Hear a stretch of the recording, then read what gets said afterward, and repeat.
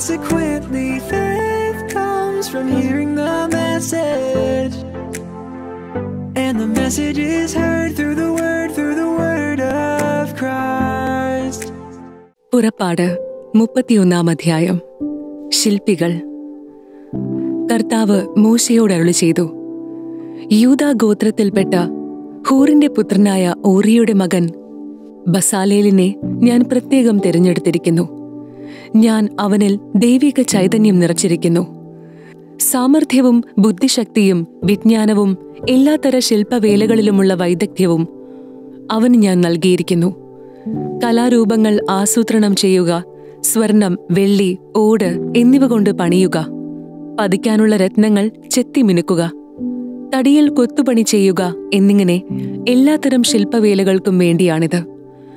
അവനെ സഹായിക്കാനായി ദാൻ ഗോത്രത്തിൽപ്പെട്ട അഹിസാമാക്കിന്റെ പുത്രൻ ഒഹോലിയാബിനെ ഞാൻ നിയോഗിച്ചിരിക്കുന്നു.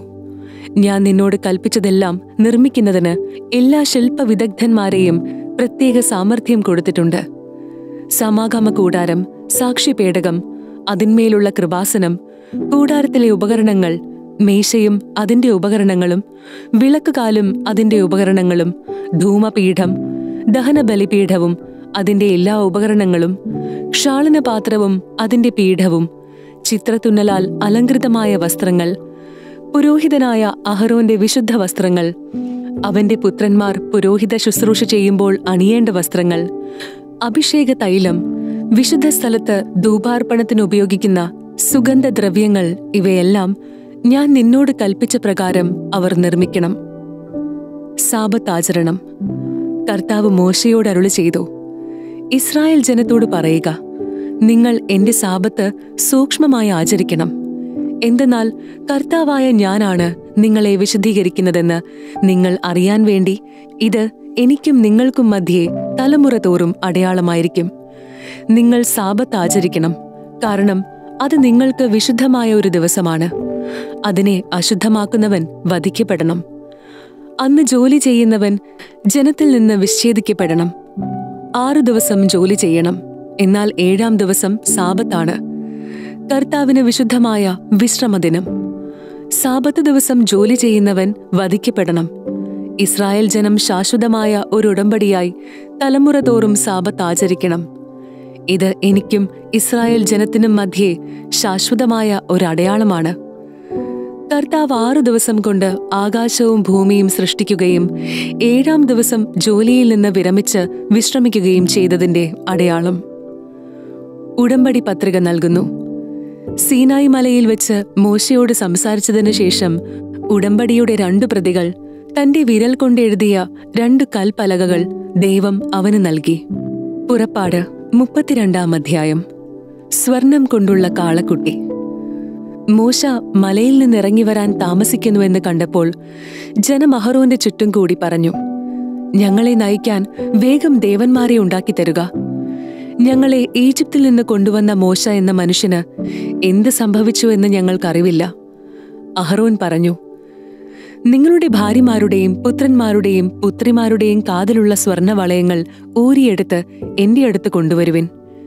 ജനം തങ്ങളുടെ കാതുകളിൽ നിന്ന് സ്വർണവളയങ്ങൾ ഊരി അഹറോന്റെ മുൻപിൽ കൊണ്ടുചെന്നു. അവൻ അവ വാങ്ങി മൂശയിലുരുക്കി ഒരു കാളക്കുട്ടിയെ വാർത്തെടുത്തു. അപ്പോൾ അവർ വിളിച്ചു പറഞ്ഞു ഇസ്രായേലെ ഇതാ ഈജിപ്തിൽ നിന്ന് നിന്നെ കൊണ്ടുവന്ന ദേവന്മാർ. അത് കണ്ടപ്പോൾ അഹ്റോൻ കാളക്കുട്ടിയുടെ മുൻപിൽ ഒരു ബലിപീഠം പണിതിട്ട് ഇപ്രകാരം പ്രഖ്യാപിച്ചു നാളെ കർത്താവിന്റെ ഉത്സവ ദിനമായിരിക്കും അവർ പിറ്റേന്ന് അതിരാവിലെ ഉണർന്ന് ദഹനയാഗങ്ങളും അനുരഞ്ജനയാഗങ്ങളും അർപ്പിച്ചു. ജനം തീഞ്ഞും കുടിയും കഴിഞ്ഞ് വിനോദങ്ങളിൽ ഏർപ്പെട്ടു. കർത്താവ് മോശയോട് അരുളി ചെയ്തു ഉടനെ താഴേക്ക് ചെല്ലുക. നീ ഈജിപ്തിൽ നിന്ന് കൂട്ടിക്കൊണ്ടുവന്ന നിന്റെ ജനം തങ്ങളെ തന്നെ ദുഷിപ്പിച്ചിരിക്കുന്നു. ഞാൻ നിർദ്ദേശിച്ച മാർഗത്തിൽ നിന്ന് അവർ പെട്ടെന്ന് വ്യതിചലിച്ചിരിക്കുന്നു.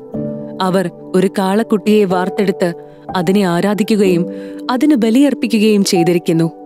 ഇസ്രായേലെ നിന്നെ ഈജിപ്തിൽ നിന്ന് കൊണ്ടുവന്ന ദേവന്മാർ ഇതാ എന്ന് അവർ പറഞ്ഞിരിക്കുന്നു. കർത്താവ് മോശയോട് അരുളി ചെയ്തു ഇവർ ദുഷാട്ടിക്കാരായ ഒരു ജനമാണെന്ന് ഞാൻ കണ്ടുകഴിഞ്ഞു. അതിനാൽ എന്നെ തടയരുത്. എന്റെ ക്രോധം ആളിക്കത്തി അവരെ വിഴുങ്ങിക്കളയട്ടെ. എന്നാൽ നിന്നിൽ നിന്ന് ഒരു വലിയ ജനതയെ ഞാൻ പുറപ്പെടുവിക്കും. മോശ ദൈവമായ കർത്താവിനോട് കാരുണ്യം യാചിച്ചുകൊണ്ട് പറഞ്ഞു കർത്താവെ വലിയ ശക്തിയോടും കരബലത്തോടും കൂടെ അങ്ങ് തന്നെ ഈജിപ്തിൽ നിന്ന് പുറത്തു കൊണ്ടുവന്ന അങ്ങയുടെ ജനത്തിനെതിരെ അവിടുത്തെ ക്രോധം ജ്വലിക്കുന്നതെന്ത്? മലകളിൽ വെച്ച് കൊന്നുകളയുന്നതിനും ഭൂമുഖത്ത് നിന്ന് തുടച്ചു മാറ്റുന്നതിനുമുള്ള ദുരുദ്ദേശത്തോടു കൂടിയാണ് അവൻ അവരെ കൊണ്ടുപോയതെന്ന് ഈജിപ്തുകാർ പറയാനിടവരുത്തുന്നത് എന്തിന് അവിടുത്തെ ഉഗ്രകോപം കൈവെടിയണമേ. അങ്ങയുടെ ജനത്തിനെതിരായുള്ള തീരുമാനത്തിൽ നിന്ന് പിന്മാറണമേ. അവിടുത്തെ ദാസന്മാരായ അബ്രാഹത്തെയും ഇസഹാക്കിനെയും ഇസ്രായേലിനെയും ഓർക്കണമേ. നിങ്ങളുടെ സന്തതികളെ ആകാശത്തിലെ നക്ഷത്രങ്ങളെ പോലെ ഞാൻ വർദ്ധിപ്പിക്കും. ഞാൻ വാഗ്ദാനം ചെയ്തിട്ടുള്ള ഈ നാട് മുഴുവൻ നിങ്ങളുടെ സന്തതികൾക്ക് ഞാൻ നൽകും. അവർ അത് എന്നേക്കും കൈവശമാക്കുകയും ചെയ്യുമെന്ന് അവിടുന്ന് ശപഥം ചെയ്ത് പറഞ്ഞിട്ടുണ്ടല്ലോ. കർത്താവ് ശാന്തനായി. തന്റെ ജനത്തിനെതിരായുള്ള തീരുമാനത്തിൽ നിന്ന് അവിടുന്ന് പിന്മാറി. മൂശ കൈകളിൽ രണ്ട് ഉടമ്പടി പത്രികകളുമായി താഴേക്കിറങ്ങി. പലകകളുടെ ഇരുവശങ്ങളിലും എഴുത്തുണ്ടായിരുന്നു. പലകകൾ ദൈവത്തിന്റെ കൈവേലയും അവയിൽ കൊത്തിയിരുന്നത് അവിടുത്തെ കൈയെഴുത്തുമായിരുന്നു. ജനങ്ങൾ അട്ടഹസിക്കുന്ന സ്വരം കേട്ടപ്പോൾ ജോഷുവ മോശയോട് പറഞ്ഞു പാളയത്തിൽ യുദ്ധത്തിന്റെ ശബ്ദം മുഴങ്ങുന്നു. എന്നാൽ മോശ പറഞ്ഞു ഞാൻ കേൾക്കുന്നത് വിജയത്തിന്റെ അട്ടഹാസമോ പരാജയത്തിന്റെ മുറവിളിയോ അല്ല. പാട്ടുപാടുന്ന ശബ്ദമാണ്. മൂശ പാളയത്തിനടുത്തെത്തിയപ്പോൾ കാളക്കുട്ടിയെ കണ്ടു. അവർ നൃത്തം ചെയ്യുന്നതും കണ്ടു. അവന്റെ കോപം ആളിക്കത്തി. അവൻ കൽപ്പലകകൾ വലിച്ചെറിഞ്ഞ് മലയുടെ അടിവാരത്തിൽ വെച്ച് അവ തകർത്ത് കളഞ്ഞു. അവൻ കാളക്കുട്ടിയെ എടുത്ത് തീയിലിട്ട് ചുട്ടു. അത് ഇടിച്ചു പൊടിച്ച് പൊടി വെള്ളത്തിൽ കലക്കി ഇസ്രായേൽ ജനത്തെ കൊണ്ട് കുടിപ്പിച്ചു. മോശ അഹറോനോട് ചോദിച്ചു നീ ഈ ജനത്തിന്റെ മേൽ ഇത്ര വലിയൊരു പാപം വരുത്തിവെക്കാൻ അവർ നിന്നോട് എന്ത് ചെയ്തു? അഹ്റോൻ പറഞ്ഞു അങ്ങയുടെ കോപം ജ്വലിക്കാതിരിക്കട്ടെ. ഈ ജനത്തിന് തിന്മയിലേക്കുള്ള ചായ്വ് അങ്ങേക്ക് അറിവുള്ളതാണല്ലോ. അവർ എന്നോട് പറഞ്ഞു ഞങ്ങളെ നയിക്കാൻ ഞങ്ങൾക്ക് ദേവന്മാരെ ഉണ്ടാക്കി തരിക. എന്തെന്നാൽ ഈജിപ്തിൽ നിന്ന് ഞങ്ങളെ കൊണ്ടുവന്ന മോശ എന്ന മനുഷ്യന് എന്ത് സംഭവിച്ചുവെന്ന് ഞങ്ങൾക്കറിവില്ല. ഞാൻ പറഞ്ഞു സ്വർണം കൈവശമുള്ളവർ അത് കൊണ്ടുവരട്ടെ. അവർ കൊണ്ടുവന്നു. ഞാനത് തേയിലിട്ടു. അപ്പോൾ ഈ കാളക്കുട്ടി പുറത്തു വന്നു. ജനത്തിന്റെ അഴിഞ്ഞാട്ടം മോശ കണ്ടു. ശത്രുക്കളുടെ ഇടയിൽ സ്വയം ലജ്ജിതരാകത്തക്ക വിധം അഴിഞ്ഞാടുന്നതിന് അഹറോൻ അവരെ അനുവദിച്ചിരുന്നു. മോശ പാളയത്തിന്റെ വാതിൽക്കൽ നിന്നുകൊണ്ട് പറഞ്ഞു കർത്താവിന്റെ പക്ഷത്തുള്ളവർ എന്റെ അടുത്തേക്ക് വരട്ടെ. ലേവിയുടെ പുത്രന്മാരെല്ലാവരും അവന്റെ അടുക്കൽ ഒന്നിച്ചുകൂടി. അവൻ അവരോട് പറഞ്ഞു ഇസ്രായേലിന്റെ ദൈവമായ കർത്താവ് ഇപ്രകാരം അരുളി ചെയ്യുന്നു ഓരോ മനുഷ്യനും തന്റെ വാൾ പാർശ്വത്തിൽ ധരിക്കട്ടെ. പാളയത്തിലുടനീളം കവാടം തോറും ചെന്ന് ഓരോരുത്തനും തന്റെ സഹോദരനെയും സ്നേഹിതനെയും അയൽക്കാരനെയും നിഗ്രഹിക്കട്ടെ. ലേവിയുടെ പുത്രന്മാർ മോശയുടെ കൽപ്പനയനുസരിച്ച് പ്രവർത്തിച്ചു. അന്നേ ദിവസം മൂവായിരത്തോളം പേർ മരിച്ചു വീണു. മോശ പറഞ്ഞു കർത്താവിന്റെ ശുശ്രൂഷയ്ക്കായി ഇന്ന് നിങ്ങൾ നിങ്ങളെ തന്നെ സമർപ്പിച്ചിരിക്കുന്നു. ഓരോരുത്തനും തന്റെ പുത്രനും സഹോദരനുമെതിരായി നിന്നതുകൊണ്ട് കർത്താവ് നിങ്ങൾക്ക് ഇന്ന് ഒരനുഗ്രഹം തരും. പിറ്റേ ദിവസം മോശ ജനത്തോട് പറഞ്ഞു നിങ്ങൾ കഠിനപാപം ചെയ്തിരിക്കുന്നു. ഞാൻ ഇപ്പോൾ കർത്താവിന്റെ അടുത്തേക്ക് കയറി ചെല്ലാം. നിങ്ങളുടെ പാപത്തിന് പരിഹാരം ചെയ്യാൻ എനിക്ക് കഴിഞ്ഞേക്കും. മോശ കർത്താവിന്റെ അടുക്കൽ തിരിച്ചു ചെന്ന് പറഞ്ഞു ഈ ജനം ഒരു വലിയ പാപം ചെയ്തു പോയി. അവർ തങ്ങൾക്കായി സ്വർണം കൊണ്ട് ദേവന്മാരെ നിർമ്മിച്ചു. അവിടുന്ന് കനിഞ്ഞ് അവരുടെ പാപം ക്ഷമിക്കണം. അല്ലെങ്കിൽ അവിടുന്ന് എഴുതിയിട്ടുള്ള പുസ്തകത്തിൽ നിന്ന് എന്റെ പേര് മായച്ചു കളഞ്ഞാലും. അപ്പോൾ കർത്താവ് മോശയോട് പറഞ്ഞു എനിക്കെതിരായി പാപം ചെയ്തവനെയാണ് എന്റെ പുസ്തകത്തിൽ നിന്നും ഞാൻ തുടച്ചു നീക്കുക. നീ പോയി ഞാൻ നിന്നോട് പറഞ്ഞിട്ടുള്ള സ്ഥലത്തേക്ക് ജനത്തെ നയിക്കുക. എന്റെ ദൂതൻ നിന്റെ മുൻപേ പോകും. എങ്കിലും ഞാൻ അവരെ സന്ദർശിക്കുന്ന ദിവസം അവരുടെ പാപങ്ങളെ പ്രതി അവരെ ശിക്ഷിക്കും. കാളക്കുട്ടിയെ നിർമ്മിക്കാൻ അവർ അഹരോനെ നിർബന്ധിച്ചതിനാൽ കർത്താവ് അവരുടെ മേൽ മഹാമാരി അയച്ചു. പുറപ്പാട് മുപ്പത്തിമൂന്നാം അധ്യായം. സീനായി വിടാൻ കൽപ്പന.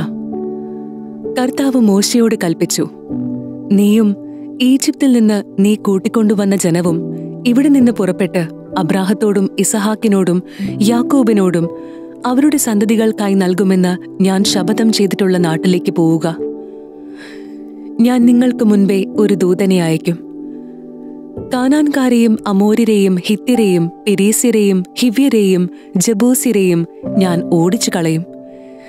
തേനും പാലും ഒഴുകുന്ന നാട്ടിലേക്ക് പോകുവിൻ. ഞാൻ നിങ്ങളോട് കൂടെ വരുന്നില്ല. വന്നാൽ നിങ്ങളുടെ ദുഷാട്യം നിമിത്തം വഴിയിൽ വെച്ച് നിങ്ങളെ നശിപ്പിച്ചു കളയും. അശുഭമായ ഈ വാർത്ത കേട്ട് അവർ വിലപിച്ചു. ആരും ആഭരണങ്ങൾ അണിഞ്ഞില്ല. കർത്താവ് മോശയോട് അരുളി ചെയ്തിരുന്നു. നീ ഇസ്രായേൽക്കാരോട് പറയുക നിങ്ങൾ ദുഷാട്ടിക്കാരായ ഒരു ജനമാണ്. ഒരു നിമിഷത്തേക്ക് നിങ്ങളുടെ കൂടെ സഞ്ചരിച്ചാൽ മതി. നിങ്ങളെ ഞാൻ നശിപ്പിച്ചു കളയും. നിങ്ങളുടെ ആഭരണങ്ങൾ അഴിച്ചുമാറ്റുവിൻ. നിങ്ങളോട് എന്ത് ചെയ്യണമെന്ന് ഞാൻ നിശ്ചയിക്കും. ഹോറബ് മലയുടെ സമീപത്ത് വെച്ച് ഇസ്രായേൽ ജനം ആഭരണങ്ങൾ അടിച്ചുമാറ്റി സമാഗമ കൂടാരം. പാളയത്തിന് പുറത്ത് അകലെയായി മൂശ ഒരു കൂടാരം അടിക്കുക പതിവായിരുന്നു. അവൻ അതിനെ സമാഗമ കൂടാരമെന്ന് വിളിച്ചു. കർത്താവിന്റെ ഹിതമറിയാൻ ആഗ്രഹിച്ചവരൊക്കെ പാളയത്തിന് വെളിയിലുള്ള ഈ കൂടാരത്തിലേക്ക് പോയിരുന്നു. മോശ ഈ കൂടാരത്തിലേക്ക് പോകുന്ന അവസരങ്ങളിലൊക്കെ ജനം എഴുന്നേറ്റ് ഓരോരുത്തരും സ്വന്തം കൂടാരത്തിന്റെ വാതിൽക്കൽ നിന്നുകൊണ്ട് മോശ കൂടാരത്തിനുള്ളിൽ കടക്കുന്നതുവരെ അവനെ വീക്ഷിച്ചിരുന്നു. മോശ കൂടാരത്തിൽ പ്രവേശിക്കുമ്പോൾ മേഘസ്തംഭം ഇറങ്ങി വന്ന് കൂടാരവാതിൽക്കൽ നിൽക്കും. അപ്പോൾ കർത്താവ് മോശയോട് സംസാരിക്കും. മേഘസ്തംഭം കൂടാരവാതിൽക്കൽ നിൽക്കുന്നത് കാണുമ്പോൾ ജനം എഴുന്നേറ്റ് ഓരോരുത്തരും സ്വന്തം കൂടാരത്തിന്റെ വാതിൽക്കൽ കുമ്പിട്ട് ആരാധിച്ചിരുന്നു. സ്നേഹിതനോടെന്ന പോലെ കർത്താവ് മോശയോട് മുഖാഭിമുഖം സംസാരിച്ചിരുന്നു. അതിനുശേഷം മോശ പാളയത്തിലേക്ക് മടങ്ങിപ്പോകും.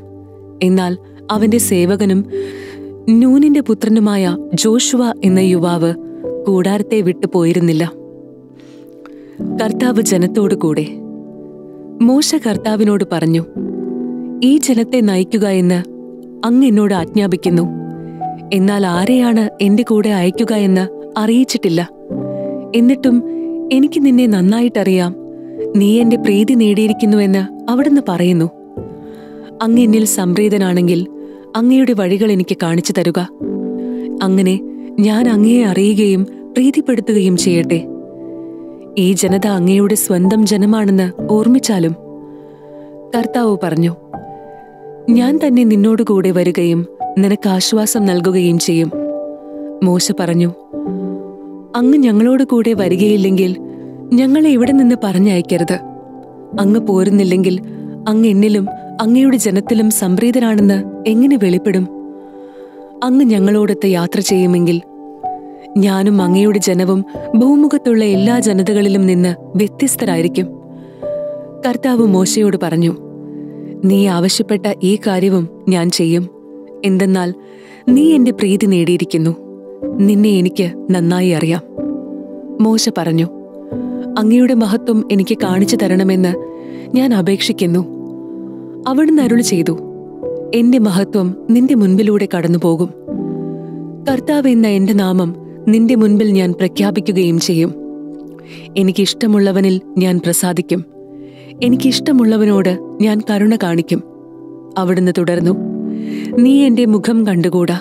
എന്തെന്നാൽ എന്നെ കാണുന്ന ഓരോ മനുഷ്യനും ജീവനോടെ ഇരിക്കുകയില്ല. കർത്താവ് പറഞ്ഞു ഇതാ എന്റെ അടുത്തുള്ള ഈ പാറമേൽ നീ നിൽക്കുക. എന്റെ മഹത്വം കടന്നു പോകുമ്പോൾ നിന്നെ ഈ പാറയുടെ ഒരിടുക്കിൽ ഞാൻ നിർത്തും. ഞാൻ കടന്നു പോകുമ്പോൾ എന്റെ കൈകൊണ്ട് നിന്നെ മറയ്ക്കും. അതിനുശേഷം ഞാൻ കൈമാറ്റും. അപ്പോൾ നിനക്ക് എന്റെ പിൻഭാഗം കാണാം. എന്നാൽ എന്റെ മുഖം നീ കാണുകയില്ല.